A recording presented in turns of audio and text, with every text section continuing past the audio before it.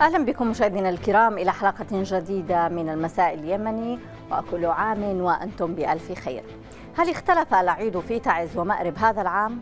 فتح الطرق في تعز ومأرب ساهم بشكل كبير في تسهيل التواصل بين الأسر وتبادل الزيارات وتنقل الناس العائدين إلى منازلهم وقراهم ومدنهم خلال فترة العيد. رغم قساوة الوضع الاقتصادي إلا أن عودة الأهالي إلى مدنهم وفتح الطرق في تعز ومأرب كان بمثابة خطوة مهمة نحو السلام وتأكيدا على قدرة الأطراف المتنازعة على التوصل إلى تفاهمات واتفاقات من شأنها وقف الحرب وإحلال السلام. بعد سنوات من الإغلاق والمعاناة ما تأثير فتح الطرق على أعياد الناس في تعز ومأرب وماذا عن حاجة الناس إلى مواصلة الجهود لفتح جميع الطرق المقطوعة كالضالع والحديدة ونهب لتسهيل وصول الخدمات الأساسية والرعاية الصحية والمساعدات الإنسانية. نذهب مشاهدينا لمشاهدة هذا التقرير ثم نعود لبدء النقاش.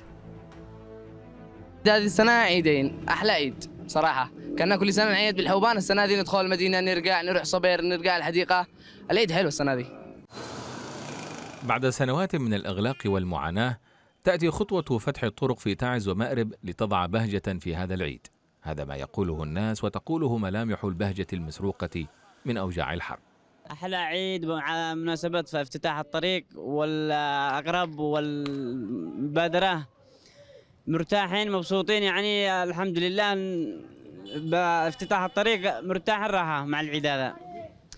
كنا نقزع قروض والقروض ونجلس يوما تعب انتبه ذال الشمات نجلس في البيت ما عاد نعيدش والآن الحمد لله مرتاحين. فقبيل عيد الأضحى المبارك فتحت الطرق ومعها فتحت أبواب التواصل بين الأسر وتبادل الزيارات وسهلت حركة السكان والمسافرين إلى مدنهم وقراهم وأسرهم. زهاء عشر سنوات توالت الأعياد على اليمنيين لكنها أعياد مهجورة في مدن مقطعة الأوصال وطرق شاقة. لم يكن العيد في اليمن كحال سنوات الحرب. فأعياد اليمنيين مناسبات للتواصل وزيارات الأهل وتعزيز الروابط الاجتماعية غير أن الحرب التي ملأت الأرواح بالأوجاع والمدن بالدمار حالت دون ذلك. الآن الحمد لله الصغير والكبير يعيد اللهم له الحمد نحمد الله ونشكره. المدمرات إن شاء الله بتعتمر جديد. ادخلوها في أمان ادخلوها في أمان.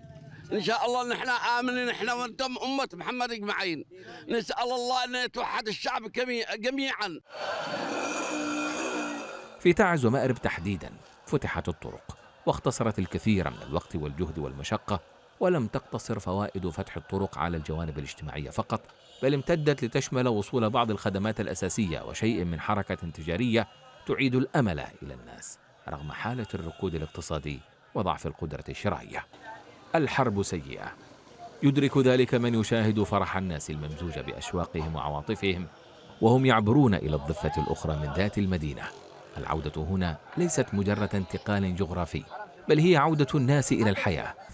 على الرغم من هذه الخطوات الإيجابية التي نتجت عن مبادرات فتح الطرق تظل الحاجة ماسة إلى مواصلة الجهود لفتح جميع الطرق المقطوعة وتحقيق السلام الدائم في البلد الذي أنهكته الحرب وأن تتسع المبادرات لتشمل المحافظات المحاصرة كالضالع والحديدة مدينة التي حاصرتها الميليشيا وكسرت الظروف القاهرة سكانها وحرمتهم من مظاهر العيد والفرح. أهلا بكم مشاهدينا الكرام من جديد وكل عام وأنتم بخير مرة أخرى. وأرحب بالضيوف الذين سيكونوا معي خلال هذه الحلقة هنا في الاستوديو الأستاذ وديع عطا الصحفي والمدافع عن حقوق الإنسان. مساء الخير أستاذ وديع وكل عام وانت بخير. أهلا وسهلا. كل عام وانت بخير. أنت وكل المشاهدين الكرام. تحية لك. وسيكون معنا الأستاذ وسام محمد الصحفي من تعز عبر الأقمار الاصطناعية. مساء الخير أستاذ وسام وكل عام وأنت بخير. مساء الخير وكل عام وأنت بخير آسيا. أهلا بك. وأيضا سيكون معنا الصحفي حمود هزاع وهو نازح أيضا من إب إلى مأرب موجود معنا؟ إذا نرحب سنرحب به حين ينضم. أهلا بكم جميعا ضيوفنا الأعزاء. أستاذ وديع بداية شاهدنا التقرير وسمعنا فرحة الناس بمناسبة فتح الطرق في تعز وفي مأرب. كيف تعلق على ما شاهدته من فرحة للناس؟ تناقشنا قبل تحت الهواء كيف نعم. يعني لمسنا هذه الفرحة العظيمة؟ آه بسم الله الرحمن الرحيم. آه تحية لك وكل عام أنت بخير مرة ثانية وكل المشاهدين الكرام وضيفك الكريم.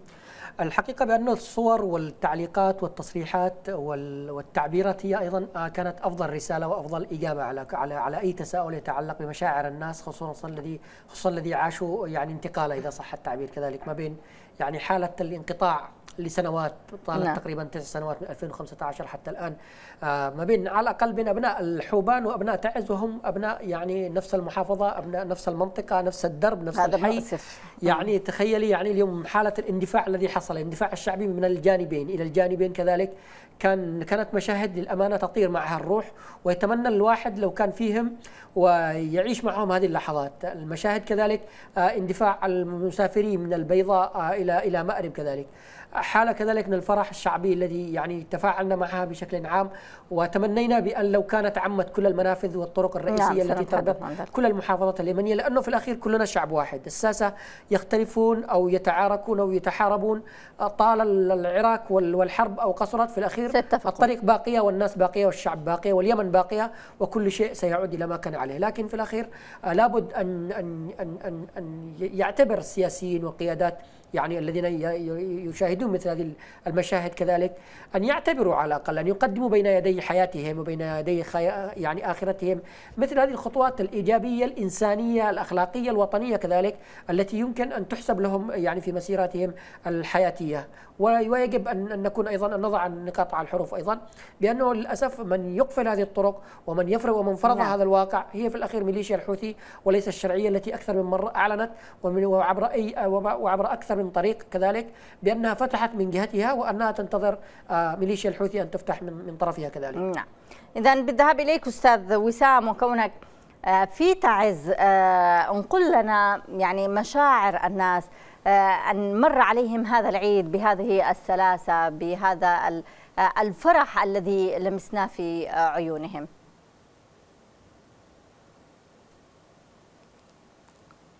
طبعا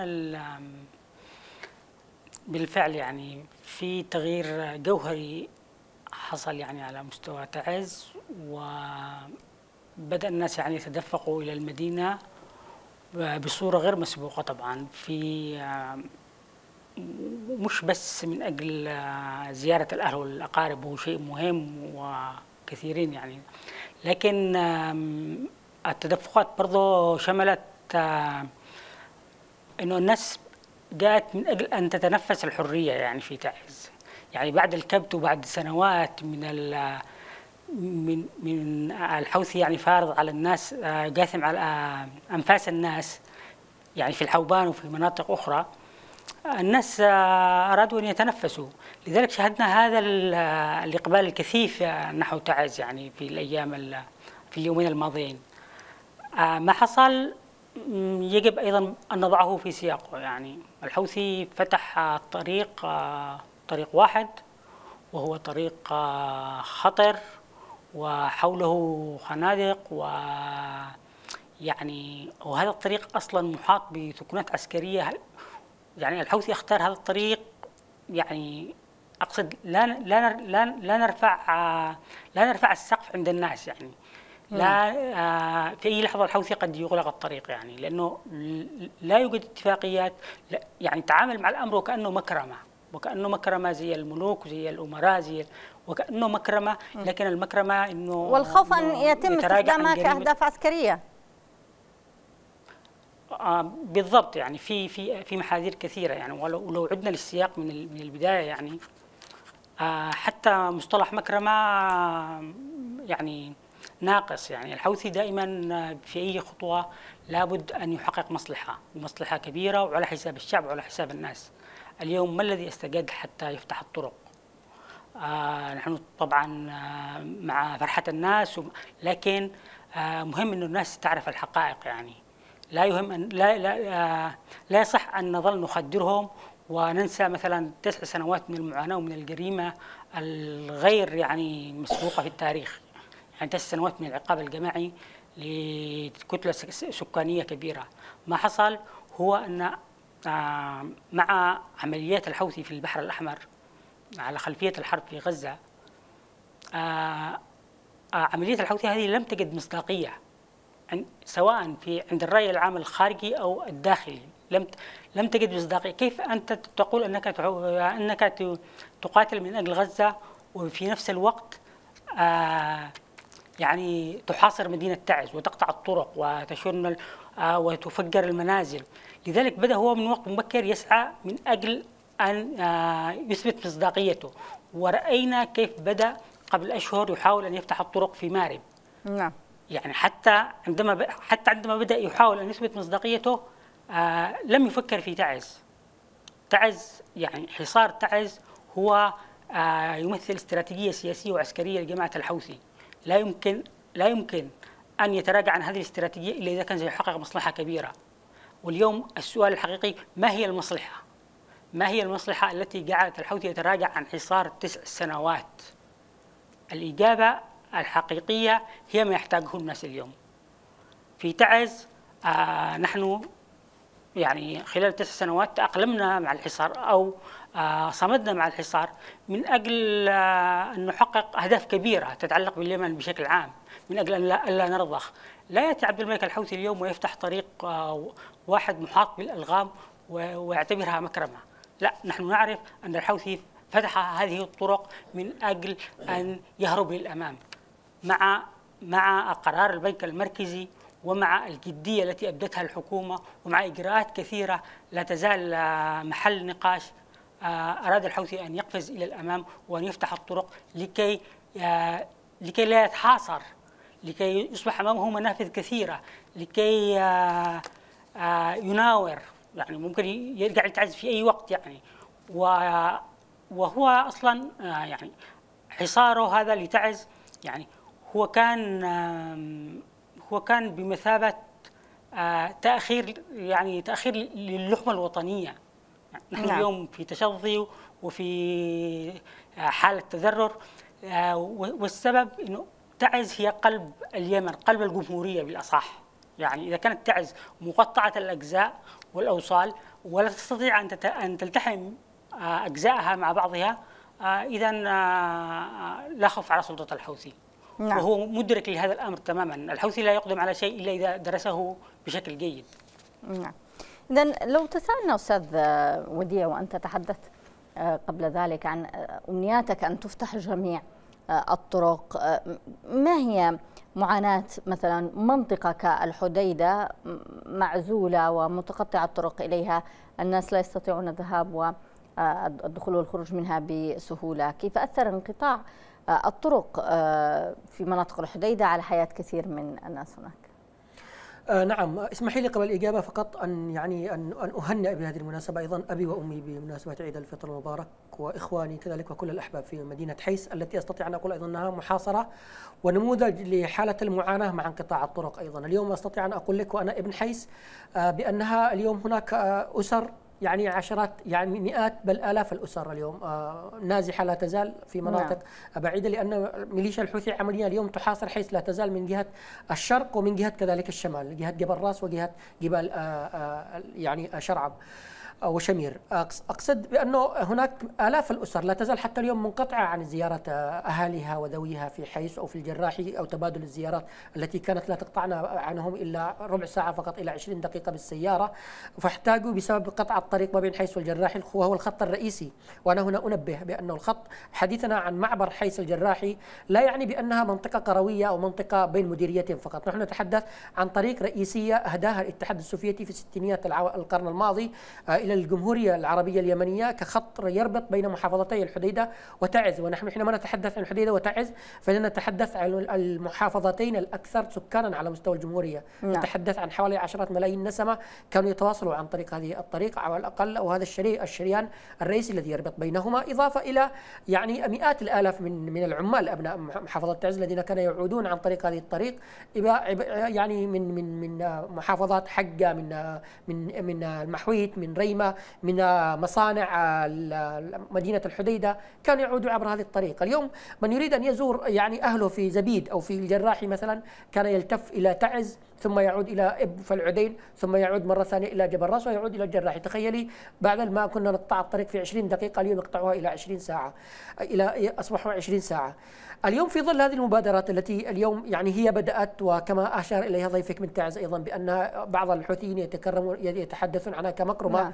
هي ضرورة إنسانية وأخلاقية وطنية بل ومسؤولية تاريخية اليوم، نحن اليوم نرفع القبعات لكل الجهود الإنسانية البحتة التي آه، تنادي بفتح الطرقات لأسباب إنسانية وأسباب أخلاقية لأنه نحن آه، يعني في الأخير الطرقات ليست ليست بين البيضاء نعم. ومأرب فقط ليست بين الحوبان وتعز فقط أو إب وتعز أو السفال وتعز.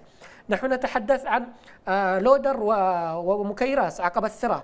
نتحدث عن كرش وتعز كذلك طريق عدن.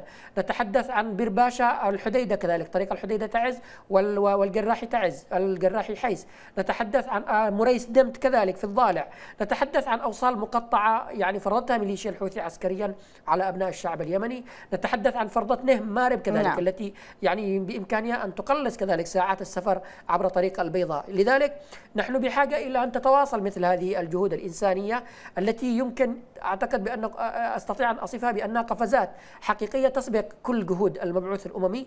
أنها أيضا عادت يعني عادت بقاطرة يعني الحديث آه، سياسيا أو إنسانيا إلى اتفاق ستوكهولم في ديسمبر 2018 الذي أيضا كان له جزء كبير من مسألة رفع الحصار عن تعز وإنهاء الطرقات لطالما كذلك الحوثي تراجع وطالما ناور وطالما يعني احتال على مسألة يعني فتح الحصار نعم. عن تعز ورفع الطرقات لكن الحاصل بأنه اليوم في ظل هذا التدافع الحاصل الآن والضغط الأخلاقي أيضا على ميليشيا الحوثي سواء بادعائه يعني الدفاع عن نعم. غزة وأنه هو في نفس الوقت يحاصر تعز ربما لربما دفعته إلى مثل هذه الخطوات، لكن أيضا يعني عسكريا وسياسيا هناك لابد أن تكون الجهة أو الضفة الأخرى لها حساباتها الخاصة، استعداداتها الخاصة لأي لحظة قد ينقض فيها الحوثي على أي منطقة يمكن أن يتسلل إليها عبر هذه الطرقات التي فتحت، لكن دعيني أيضا أن أكون معك صريح أيضا.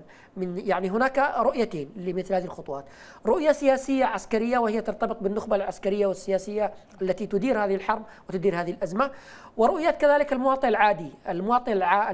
الذي لا يهمه إلا الخدمات، نعم. لا يهمه إلا الطريق يعني في الأخير. قلت بأن الشعب اليمني اليمن باقية وأن كل هذه النخب المتصارعة ستذهب واليمن باقية وأن الطريق ستبقى. أن الطريق اليوم الذي يقفلها سيموت اليوم أو غدا أو بعد حتى 20 سنة. لذلك يجب أن يقدم مثل هؤلاء القيادات مصلحة الوطن وأن يقفزوا إلى الأمام في نعم على كل هذه الخلافات. في حل مثل هذه نعم. آه، الإشكاليات. إذن آه، آه، بالعودة إليك أستاذ وسام. أستاذ وسام يعني بعد فتح الطرق آه، أصبحت يعني زيارة الأهالي في من مناطق آه، السيطرة الشرعية إلى الحوثيين والعكس. لم تعد آه، مجرد زيارة وإنما قرار يعني يعتبر صعب قد يكون له أثر خطيره لا سمح الله. يعني مسألة تأمين الطرق هل هي مؤكدة 100% أو حتى إغلاقه خاصة يعني قد نحن نعلم يعني أن الحوثي لا عهد له قد يغلق الطريق في أي لحظة. آه، فما هي برأيك يعني آه، آه، من يهتمون بفتح الطرق الناشطين والمتابعين والوسطاء أيضا؟ ما هي ال ال يعني ال ال ما يقع على عاتقهم من مسؤوليات لتجاوز مثل هذه المخاطر؟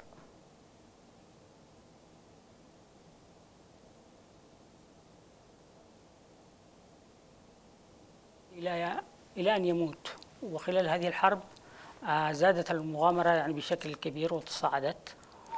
و يعني الحوثي أساسا يعني لا لم يطرح ضمانات ولم أساسا ولم آه، يدخل في اتفاقات.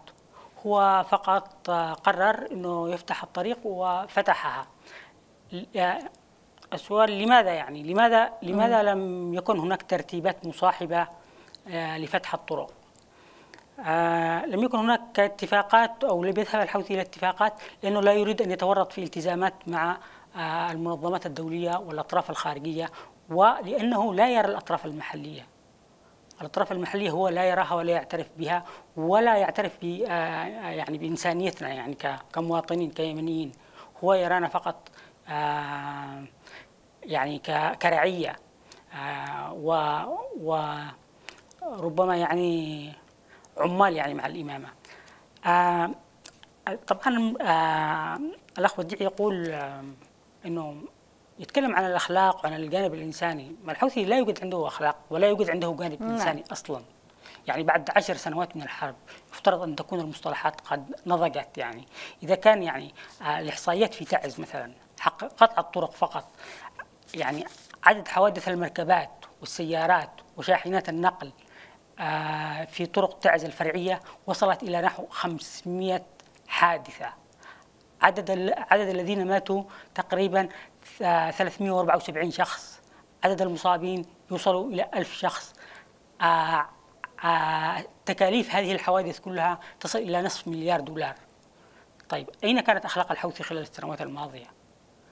ال- الحرب توقفت يعني عمليا الآن الحرب توقفت في إبريل 2022 يعني إحنا الآن تجاوزنا العامين منذ توقف الحرب يعني أو منذ خفض التصعيد. آه لا يوجد أخلاق. ويفترض أن نعي هذا جيدا. لا يوجد أخلاق ولا يوجد ضمير إنساني. الحوثي يت... ي... لديه مصالح ولديه آه وهناك أوراق بإمكان ان أن تركعه. يعني طوال السنوات الماضية آه كنا دائما ننادي أو نقول بانه آه ننادي بال بال بال بالمعركة العسكرية وأن المعركة العسكرية هي الحل. اليوم تكشف لنا أشياء مهمة آه مثلا الآن ال- الأخ وديع يتكلم عن الحديدة، الحوثي لن يهتم بالحديدة.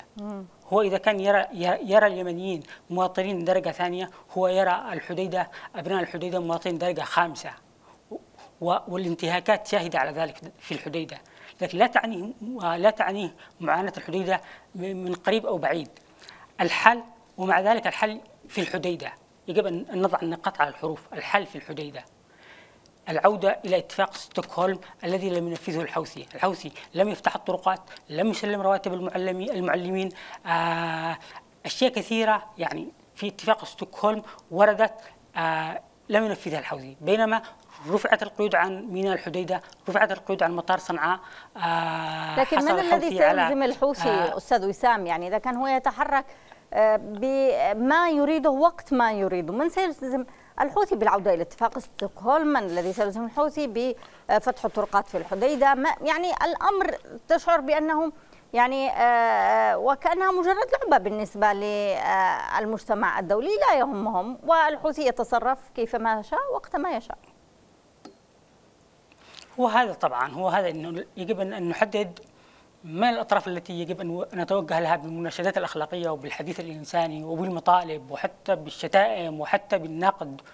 آه، لدينا حكومة مهما كانت ملاحظاتنا عليها لكن يجب الضغط عليها يجب الضغط عليها وأن آه، نطالبها بأن آه، تفعل كل الأوراق التي في يديها حسب الممكن.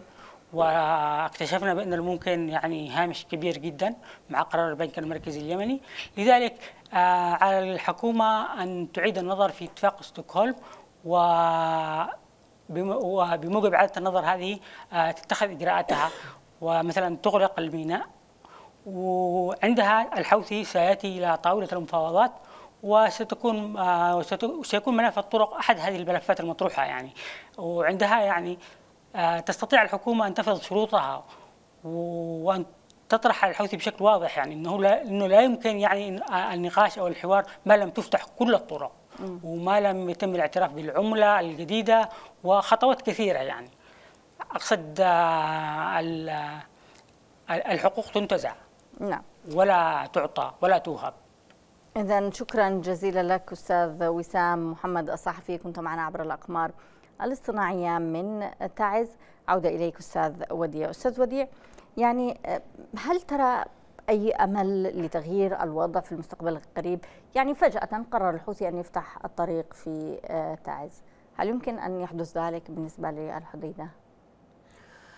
آه نعم. آه بداية اسمحي لي أيضا أن أعقب على ما ذكره آه وسام آه كتعقيب على كلامي. أيضا أنا حينما تحدثت عن المسؤولية الأخلاقية لا أتحدث عن عن الحوثي كطرف فقط. يعني أنا حينما نت- نتحدث عن الواقع اليوم في الضفة الأخرى ليس الحوثي فقط. هناك كتلة إنسانية كبيرة يعني في الأخير. هم ضحايا أو أو إذا صح التعبير هم رهائن بيد ميليشيا الحوثي. يمارسون بشكل أو بآخر ضغوطهم الخاصة أيضا. هناك امتعاض هناك احتقان. يدرك الحوثي هذا الاحتقان أيضا وهذا الاعتمال في مناطق سيطرته. لذلك من حين إلى آخر لابد يعني ان أن يتخذ مثل هذه الخطوات التي يعني إذا صح التعبير أيضا هي تنفس من حالة الغضب الشعبي في مناطق سيطرته. نعم. وحينما نتحدث عن المسؤوليه الاخلاقيه نتحدث عن المسؤوليه الاخلاقيه عند كافة المسؤولين عن عن الأزمة في اليمن عن عن الإنقلابيين والميليشيا يعني كطرف وكذلك الشرعية والتحالف والمجتمع الدولي كذلك كمشرف وراعي. ولست بصدد أيضا ترتيب المواطنة والمواطنين في مناطق سيطرة الميليشيا الحوثي لما يقول لي أصحاب الحديدة مواطنين درجة خامسة ولا رابعة. هو ينظر لليمنيين كلهم بأنهم درجة ثانية ومختلفة وأنهم أيضا يعني شعب آخر أيضا. لذلك هو يتعامل مع مع الآخرين مع الكل مع الكل بأنهم تابعين له. وهناك أيضا أمثلة كذلك. ارياف تعز الجنوب الشمالية تعاني معاناة نفس الناس الحديدة وفي غيرها كذلك. هذا شيء. فيما يتعلق فتح الطرقات بجهة الحديدة من طرف الحوثي.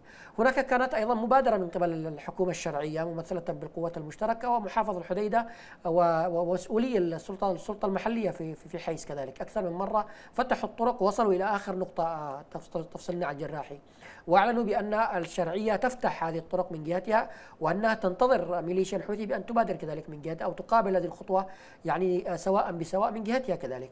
ما حصل بأنه في خضم هذه الحركة أيضا وفي خضم هذه الأحداث الجديدة وفتح الطرقات. فتحت ميليشيا الحوثي آه، طريق آه، الجراحي آه، جبل راس حيس. وهي طريق فرعية كذلك تقع في مناطق ونفوذ وسيطرة ميليشيا الحوثي كذلك وللمعلومة كذلك لك وللرأي العام بأنه أيضا ميليشيا الحوثي تفرض في هذه المنطقة أيضا منطقة يعني تحصيل جمركي إذا صح التعبير أو تحصيل ضرائب. في هذه المنطقة. منطقة نعم. وفي منطقة سقم أيضا. هناك منطقتين للتحصيل المالي. منطقة سقم التي تربط حيس بميراب وشمير آه شرقا من حيس وكذلك في جبل راس آه يعني آه الجراحي. اليوم الطريق هذه الملتفة أيضا كنا نتمنى أيضا بأن يتم التجاوب أيضا مع هذه الخطوة أيضا بأن تفتح كذلك الطريق. ليش؟ لأن هناك أهمية إنسانية على الأقل ستخفف عن الناس بين سكان الضفتين ضفة الجراحي وضفة حيس ضفة زبيد وضفة حيس هناك حالات ترابط اجتماعي ومصاهرات وحالات قرابة كبيرة أيضا بين هذه بين هذه المناطق. جنوب الحديدة حيس والجراحي والخوخة وزبيد ككتلة واحدة وجبل راس كذلك. كان كنا بحاجة إلى أن يتم التجاوب مع هذه النقطة أيضا ليتزاور الناس لتنتهي عزلة آلاف الأسر التي لا تزال حتى اليوم في في حكم المحتجزة في صنعاء والتي يفترض أن تعود إلى حيث أو تعود إلى مناطق الخوخة وغيرها نعم. من مناطق شمير ومناطق شمال تعز آه، آه، جنوب آه، شمال تعز التي يفترض أن يعودوا إليها اليوم ناس قرى أرياف شمال تعز محرومين من أهلهم للسنة التاسعة على التوالي كذلك. أتكلم عن ميراب أتحدث عن شمير أتحدث عن المجاعشة عن البراشة. أتحدث هذه العزل التي في وضعها الإنساني أسوأ من قرى في تهامة كذلك. أتحدث عن الأرياف الذي هي في مناطق التماس كذلك. الناس الذين لا يستطيعون أن يسعفوا أبنائهم اليوم حينما يمرضوا إلى مركز حيث كما كان معتاد أو حتى يصل بها إلى مركز الجراحي كما كان معتاد. اليوم هناك حالة يعني أوصال مقطعة جغرافيا نعم. وأسريا واجتماعيا كنا بحاجة إلى نوع من من المسايسة وأنه في الأخير لابد أن يستمر الضغط على ميليشيا الحوثي لتفتح طريق الجراحي الحيث لكي تعود لكن هناك كما كما ذكرت أنا في أحد تقارير وكتاباتي أيضا بأن هناك حسابات سياسية وعسكرية آه، واضحة عند ميليشيا الحوثي في فتح هذا الطريق ما هي أن القوات المشتركة حينما انسحبت فيما سمي بالتموضع أيضا انسحبت 100 كيلو للحوثي الميليشيا الحوثي نظرت لهذه المساحة التي انسحبت لها منها القوات المشتركة كمكسب عسكري استراتيجي. زرعت كل هذه المناطق التي وصلت إليها نعم. بمئات بل, بل وآلاف الشبكات من الألغام والمتفجرات والعبوات الناسفة. من الصعب جدا أن تتعامل ميليشيا في يوم وليلة أو في أسبوع أو حتى في شهر مع هذا الواقع اللي تنسحب بدون أي تنازلات من الطرف الآخر. لذلك كان يعني قلت وأقول بأن هناك حسابات عسكرية معقدة لدى ميليشيا الحوثي أن تفتح هذا الطريق لأنه تعتبر مكسبه لأنه لأنها تعتبره مكسب استراتيجي استراتيجي نعم. عسكريا وسياسيا كذلك. نعم اذا اسمح لنا أستاذ وديع أن ينضم إلينا الصحفي حمود هزاع وهو في نفس الوقت نازح من إب إلى مأرب ينضم معنا عبر الأقمار الصناعية مساء الخير أستاذ حمود. مساء الخير أختي آسيا وتحية لك وللأخ وديع عطاء وعيد مبارك عليكم وعلى كافة أبناء اليمن وأبناء أمتنا العربية والإسلامية. وأنت بألف خير وصحة وسلامة. طيب آه، أستاذ حمود يعني بداية نود أن نسمع يعني تعليقك حول فتح الطرق سواء في تعز أو في مأرب من جهة آه، الضالع. كيف عاش الناس هذه آه، الفرحة وكيف غيرت في حياتهم في العيد؟ بلا شك بأن فتح الطريق آه، يمثل آه، خطوة سليمة وإيجابية في الطريق الصحيح. لا ينبغي قطع الطريق من قبل أي قوة أو مكون. فقطع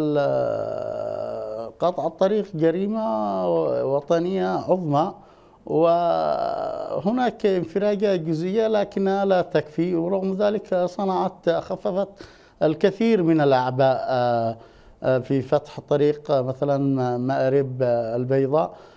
خففت الكثير من الأعباء على اليمنيين في التنقل سواء القادمين من المملكة العربية السعودية أو القادمين من أو العمال والعاملين في قطاع التجارة في مأرب الراغي وهم أغلبهم معظمهم وافدون إلى مأرب من آه، المحافظات الخاضعة لسيطرة ميليشيا الحوثاء الحوثي تمكنوا من العودة إلى ديارهم وقضاء العيد آه، مع أهاليهم وأقاربهم بسهولة وبدون مشقة ودون مغامرة في الصحراء ودون آه، التعرض للإلغام التي زرعتها ميليشيا الحوثي ولكن هي انفراجة نسبية وغير كافية وينبغي على اليمنيين أن يضغطوا آه، لفتح كافة الطرقات. وإذا كان هناك تخوفات عسكرية لدى هذا الطرف أو الأخرى هناك في البلدان الأخرى تعمل طرق آه، بشكل حلزوني ملتوية ليتسهل عليها ليسهل لديها قدرة على المراقبة آه، ومعرفة القادم إلى نقطة تمركزها فتتعامل معه بوقت مبكر. أما أنها تقطع الطريق هذه جريمة آه، لا تغتفر وللأسف الشديد لا لا لا نستطيع أن نجد تفسير منطقي لسكوت اليمنيين على آه، قطع الطرقات وتقطع أوصال البلاد شرقها بغربها وجنوبها بشمالها طوال السنوات الماضية. نعم، اذا آه، أستاذ حمود يعني أيضا نود أن يعني تجربتك أنت وكونك نازح من إب آه، إلى مأرب يعني هل تمكن النازحون من تحويل محنة النزوح إلى فرصة لبدء حياة جديدة للنمو للتطور يا عزيزتي بالنسبة للتواصل بموضوع الطرقات بالنزوح فالنزوح فئتين. هناك نزوح كتلة اجتماعية يمنية مناهضة لميليشيا الحوثي مناصرة منحازة للدولة وللعدل والمساواة وللقيام الدولة. فهذه الفئة للأسف الشديد هي الأكثر تضررا اليوم. حتى وانفتحت الطريق يصعب على حمود هزاع وعشرات الآلاف أو ربما مئات الآلاف من اليمنيين العودة إلى ديارهم وإلى مسقط رأسهم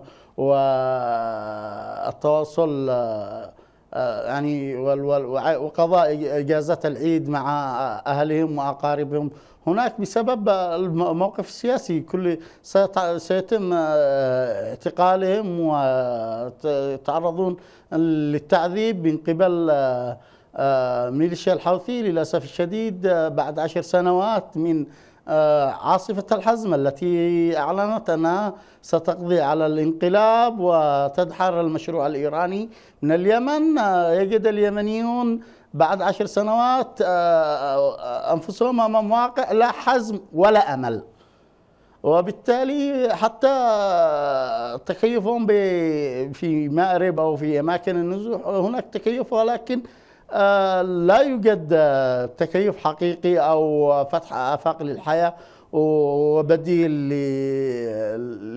لما خسروه قبل عشر سنوات نعم. جراء النزوح والتهجير القسري لأسباب كثيرة وأبرزها اقتصاديه. نعم. اذا إلى جانب عامل الحرب ولا استقرار و نعم. نعم. اذا آه، أستاذ وديع يعني ما هي التحديات الرئيسية برأيك التي تواجه أي جهود لمحاولة فتح كافة الطرق وضمان حرية التنقل بالنسبة للناس؟ الحقيقة بأنه أكبر التحديات هي مسألة غياب الضمانات خصوصا مسألة ضمان ميليشيا الحوثي كطرف أيضا آه، مباشر في مسألة هذه هذا الحصار الحاصل ومسألة آه، إغلاق الطرقات. يعني كلنا نعرف وحتى المجتمع الدولي والمبعوث الأممي والذي قبل كذلك مبعوثي الأمميين يعرفون بأن من فرض هذا الواقع أيضا هي ميليشيا الحوثي من طرفها التي آه، فرضت نقاط التفتيش فرضت جمارك جديدة فرضت يعني واقع أمر واقع جديد في كل المناطق التي تسيطر عليها. عليها. وكذلك يعني آه، قسمت الأمر إذا صح التعبير أيضا مسألة يعني يعني وكأنه بين دولتين يعني هي تفرض يعني أمر واقع يعني غير مقبول اجتماعيا ولا ولا شعبيا. الشعب يدرك بأن ميليشيا الحوثي هي التي تتحمل المسؤولية وأن كل الأطراف أيضا يعني هي التي تبادر لتفتح هذه الطرق سواء المجلس الانتقالي من طرفه في المناطق التي يسيطر عليها سواء في الضالع أو في غير أو في شبوة أو في غيرها. وكذلك آه، من من جهة يعني الحديدة كذلك الشرعية والقوات المشتركة أكثر من مرة كما قلت فتحت الطريق. آه، لكن دعيني أشير أيضا بأنه مثلا مثلا آه، حينما فتح الحوثي طريق جبل راس حيس يعني علينا أن نشير أيضا بأنه هذه المنطقة هذه النقطة التي فتحت تربط الحديدة أصلا بمحافظة إب. يعني لمن لا يعلم أيضا بأنه ما بين حيس وما بين العدين 100 كيلو فقط يعني. هذه النقطة التي فتحها الحوثي تسهل انتقال المواطنين في أقصى جنوب الحديدة إلى صنعاء وتفتح لهم منفذ للذهاب إلى صنعاء وإلى غيرها كذلك. لذلك كنا نتمنى بأن يتم التعامل بشكل إيجابي مع هذه النقطة مع أقول كذلك استمرار الضغط على ميليشيا الحوثي يعني لفتح طريق الجراحي حيس لكن مسألة كذلك التحديات هي تحديات عسكرية تحديات سياسية تحديات يعني كلها ترتبط أيضا بمسألة نعم. غياب الضمانات. ومسألة قدرة المجتمع الدولي ومجلس الأمن والأمم المتحدة والممثلين بالمبعوث الأممي في مسألة يعني إلزام الحوثي باستمرار الحال على ما هو عليه. لكن كلنا نعرف أيضا بأن في الأخير هذه الطرق التي فتحت وهي طرق محدودة ومبادرة يعني يعني آه يعني آه مؤقتة إذا صح التعبير بل وملغومة اذا إذا أردنا أن نصفها أيضا بشكل آخر لأنها في لحظة ما قد تنفجر يعني عسكريا وقد تغلق أيضا وهي تغلق أيضا من ساعه إلى أخرى أيضا كما نعم. يحصل أيضا في بعض النقاط التي تستر عليها ميليشيا الحوثي من جهة دي السفل والقاعدة وتعز والحوبان.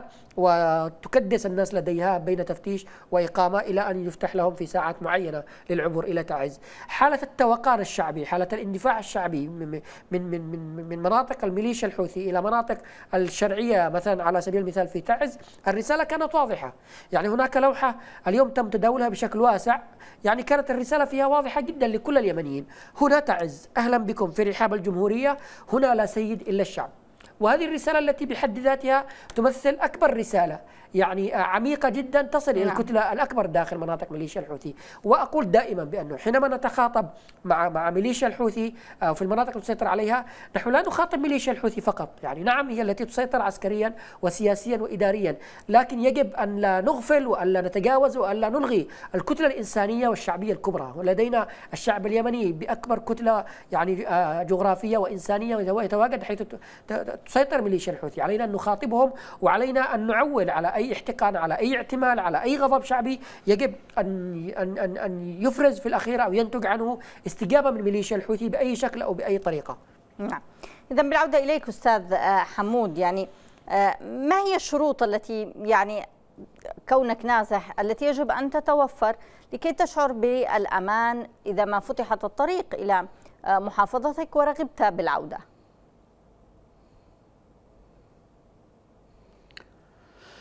والله سؤال صعب والإجابة عليه صعبة فكل من يعرف ميليشيا الحوثي آه، يدرك أن لا عهد لها. مهما توفرت شروط لا تنطبق عليها.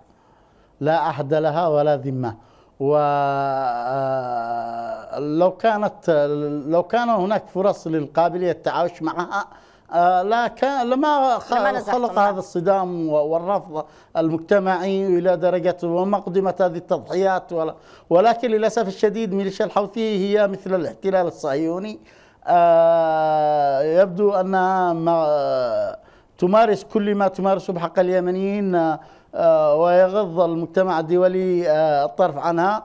وهي أداة تستخدمها الرباعية الدولية التي تدير الملف اليمني وهي أربع دول دولتان عربيتان وإلى جانب آه، الولايات المتحدة وبريطانيا. وللأسف الشديد الرباعية الدولية هي من تدير كل القوى والأطراف وتخدم الحوثي وتجعله الأداء الأكثر كسبا للنقاط والأكثر هيمنة على اليمن خلال هذه المرحلة ونجاح الحوثيين سببه كذلك ضعف قيادات الشرعية وعدم قدرتهم على القيام بدورهم كرجال دولة وتبني مصالح أبناء شعبهم ورفض ممارسة الحوثيين رفض آه، الخديعة دعم الجيش الوطني بما ينبغي لولا نعم. هذا الخليط الهلامي من النخب اليمنية آه، التي لا تمتلك الإرادة والتي للأسف الشديد آه،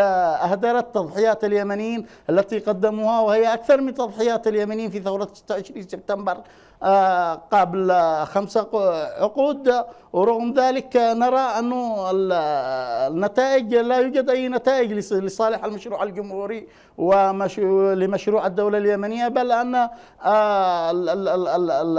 الشرعية ما يسمى بالشرعية هو قد تم تفخيخه بكيانات وبشخصيات لا تحمل ولا لليمن ولا ولا تؤمن بل قد ربما تتوافق وتقوم بعمل مكمل لما يقوم به ميليشيا الحوثي نعم. وبالتالي اليمنيين أصبحوا ضحايا وهنا نوجه الدعوة لأبناء اليمن نقول لهم بأنهم يجب أن يكون هناك معرفة وإدراك.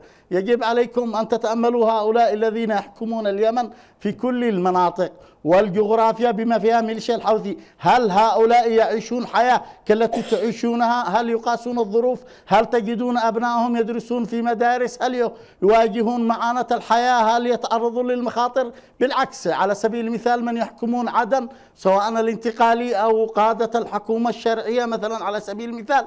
لا لا يعانون من الحر الذي يعاني فيه باقية سكان عدن وال وال وال والمحافظات المجاورة لها. يعيشون في أبراج عالية إما أن أسرهم خارج اليمن أو يعيشون والكهرباء مؤمنة لهم. وبالتالي بأي بأي حق يكون لليمني ولاء لهؤلاء. نعم. آه، فالمشكلة عويصة لا أحد لا يمكن لأي يمني أن يخاطر بالعودة صحيح. إلى مناطق ميليشيا الحوثي والسلام الذي يحاول الرباعية الدولية أن تفرضه هو سلام مفخخ ومزيف نعم. ولن يدوم إذا مأرب أصبحت ملجأ الكثيرين ولكنها تواجه تحديات خاصة خاصة مع ازدياد عدد النازحين ونقص آه، الخدمات كيف ترى مستقبل مأرب في ظل استمرار النزوح والتوترات السياسية؟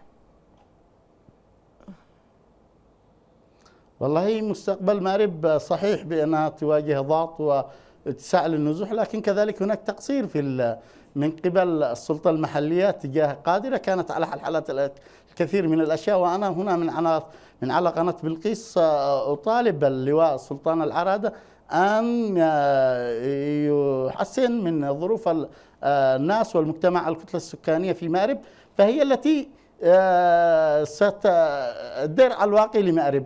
وعلى قدر اهتمام السلطة المحلية سيكون اهتمام المجتمع وحماسهم في الدفاع عن مأرب. فالعملية التشاركية واليمنيين والنازحين قدهم كلهم أبناء مأرب قبل باقي أبناء المحافظات. ونحن في سفينة واحدة. فينبغي أن تكون هناك عملية تكاملية من أجل آه، ننجو جميعا ويكون هناك مستقبل لليمنيين جميعا. أما أن يستمر أداء آه، السلطات بهذا الرتابة وفي آه، عرقلة بل إهدار بعض المشاريع وإعاقة عمل بعض المنظمات فهذا لا لا لا لا يصب في مستقبل مأرب نعم. فنحن نريد من السلطة المحلية أن تحسن عملها وتعتبر ذلك جزء من التعبئة العامة نعم إذا في دقيقة أستاذ وديع لنفترض أن جميع الطرق فتحت غدا هل تعتقد أن هذا وحده كافي لرأب الصدع الاجتماعي والسياسي في اليمن الذي تشكل خلال سنوات الحرب؟ آه سؤال مهم آه، يستحق أن نختم بهذه الحلقة للأمانة أقول بأنه يعني آه حالة فتح الطرقات هي حالة يعني إنسانية بالدرجة الرئيسية ويجب أن تبقى في سياقها الإنساني. اليوم ما هو مطلوب هو بأنه كيف يمكن للمجتمع الدولي ممثلا بالمبعوث الأممي أن يثبت حالة يعني حالة هذا الانفراج إذا صح التعبير إذا إذا صح الوصف كذلك. مسألة الانفراج فتح الطرقات يجب أن يستمر وأن يواصل وأن يدخل المبعوث الأممي وأن يمسك هذه هذا الطرف ليسأل الطرفين حوثي وشرعيه كذلك. ما الضمانات المطلوبة من كلا الطرفين لتثبيت الوضع الذي على ما هو عليه؟ يعني يجب ان ان, أن نحترم القانون الإنساني الدولي الذي يحفظ إنسانية الناس في طرقهم وحقهم في العبور. حق العبور حق إنساني أصيل يعني في الأخير. علينا أن نراعي هذا هذا الجانب. وفي حال لا سمح الله انفجر الوضع انسان يعني عسكريا في نفس في ذات مرة أو في وقت لاحق علينا أن نراعي أيضا هذا الحق الإنساني الأصيل في مسألة العبور وان وأن تتجنب الطرق الرئيسية أي هجومات عسكريه أو الأعيان الانسان المدنية كذلك اي اي أي قصف من من, من أي طرف خصوصا ميليشيا الحوثي.